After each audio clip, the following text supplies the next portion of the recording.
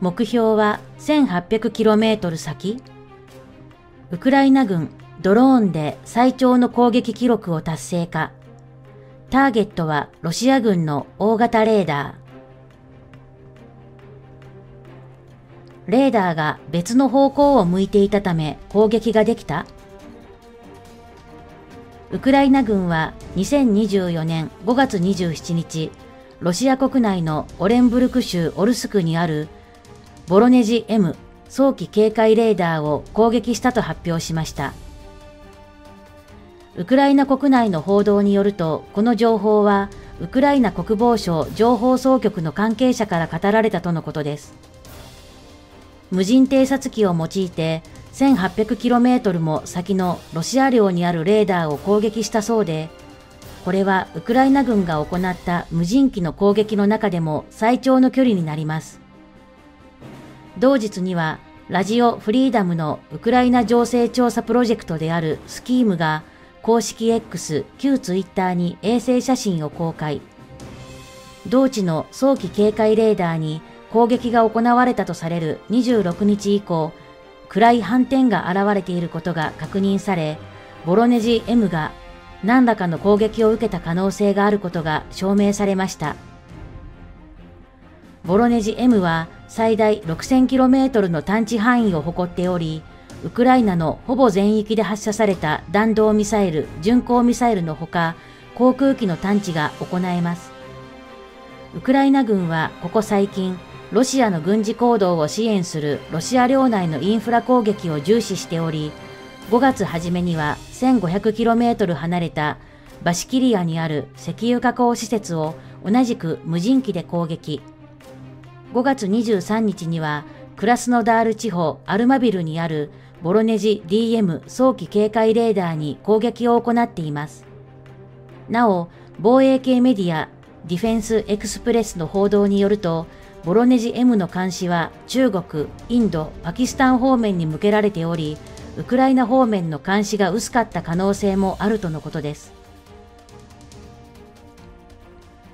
これは長距離探知を目的としたレーダーで精度はあまり良くない。6000キロもの範囲の宇宙から無人機が飛ぶ低空まで、これ一つで探知できたら他のレーダーはいらないわけで、そんな高性能なレーダーではない。このレーダーは、はるか遠くから飛んでくる核ミサイルなどを探知する目的のレーダーで、長距離探知を得意とする VHF で稼働するが、その分長距離での精度があまり良くない。距離は正確には出ないし、低空探知能力も高くない。低空を飛ぶ無人機は探知できないだろ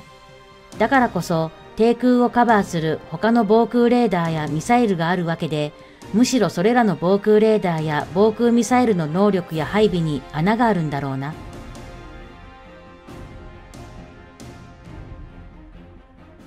ゼレンスキー氏、中国を批判。平和サミットに参加呼びかけ、アジア安保会議閉幕。ロシアの侵攻を受けるウクライナのゼレンスキー大統領は2日、アジア安全保障会議、通称シャングリラ会合に合わせてシンガポールで記者会見を開き、今月中旬にスイスで開かれる和平推進を目的とした平和サミットに中国が欠席の意向を示し、開催を妨害していると批判した。ゼレンスキー氏はこれに先立つ演説で各国に参加を呼びかけた。安保会議は3日間の日程を終え、2日閉幕した。ゼレンスキー氏によると、これまでに100以上の国、地域が平和サミットに高官を派遣することが固まった。ただ、中国からは参加の意向が示されていない上、中国は他国にも参加しないように働きかけていると非難した。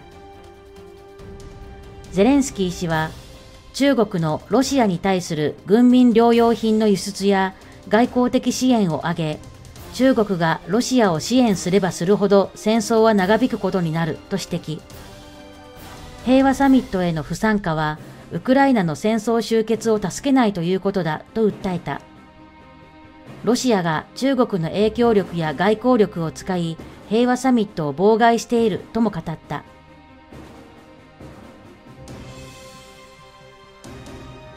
ロシア軍が合計100のミサイル無人機攻撃。ウクライナ最大の水力発電所が稼働停止。ウクライナへの侵略を続けるロシア軍は5月31日から6月1日、ウクライナ各地のエネルギー施設を狙い、計100のミサイルと無人機で攻撃した。南部ザポリージャ州にある同国最大の水力発電所が稼働停止するなど被害が出ている。ウクライナ軍の発表によると、ロシア軍は一方的に併合した南部クリミアやカスピ海上空の爆撃機などから弾道ミサイルや巡航ミサイル53発、ロシア南部プリモルスコ、アフタルスクから無人機47機を発射した。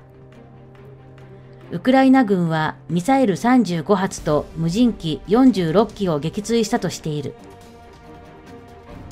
ウクライナの英字ニュースサイトキーウ・インディペンデントによると、ザポリージャ州知事は1日、国営テレビで同州のドニプロ水力発電所が被害を受け、発電を停止したと明らかにした。ウクライナエネルギー省によると、東部ドネツク州、西部イバノ・フランキウシク州のエネルギー施設でも被害が出ているという。ロシア、過去5ヶ月でウクライナ領880平方キロ支配。国防省発言。ウクライナへの侵攻を続けるロシアのアンドレイ・ベローソフ国防相は31日、自軍が全戦線で進軍を続けており、今年に入ってからウクライナ領880平方キロメートルを支配下に置いたと述べた。主張が事実であれば、ロシア軍が過去5ヶ月で支配した地域は昨年1年間での支配地域よりも大きいということになる。昨年はウクライナが反転攻勢に打って出たものの、前線はおおむね膠着状態にあった。ベローソフ氏は、カザフスタン最大都市アルマトイで開催されたロシア主導の集団安全保障条約機構 CSTO の会合で、すべての方面で戦術的に成功、前進している。今年に入ってからロシア軍は880平方キロメートルほどの地域を支配したと戦果を誇示した。ロシアの複数の通信社が伝えた。また5月10日の北東部ハルキウ州への奇襲以降は8、9キロほど前進しており、すでに28の集落を制圧したとも話した。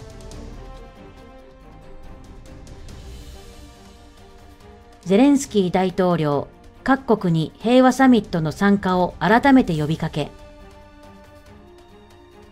ウクライナのゼレンスキー大統領は2日、シンガポールで開催中のアジア安全保障会議で演説し、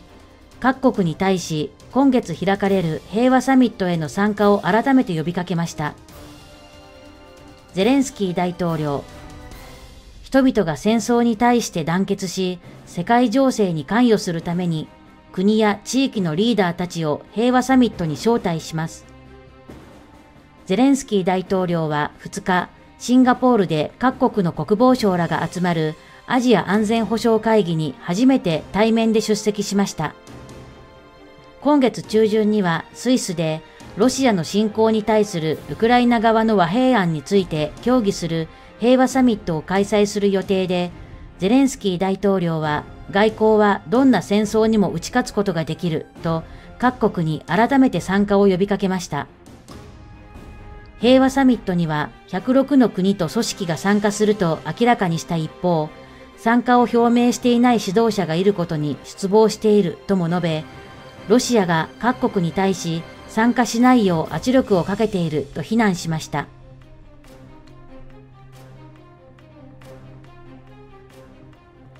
ゼレンスキー大統領安全保障の二国間協定を締結。ウクライナのゼレンスキー大統領は北欧のスウェーデンを訪問し、3カ国と相次いで安全保障の協定を締結しました。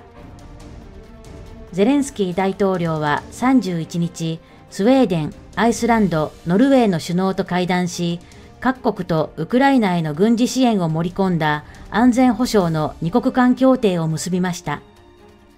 これで2023年7月の G7 首脳宣言に基づき、ウクライナと二国間協定を締結したのは15カ国となりました。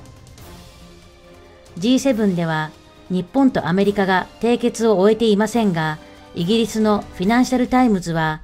アメリカも近くウクライナと協定を結ぶ見通しと報じています。これまで二国間協定の締結はゼレンスキー大統領が各国の首脳と顔を合わせて行われています。アメリカがウクライナに供与した兵器でロシア領内への攻撃を一部容認したと伝えられ、ウクライナ情勢の大きな転換点を迎える中、近くゼレンスキー大統領とバイデン大統領の会談が実現する可能性もあります。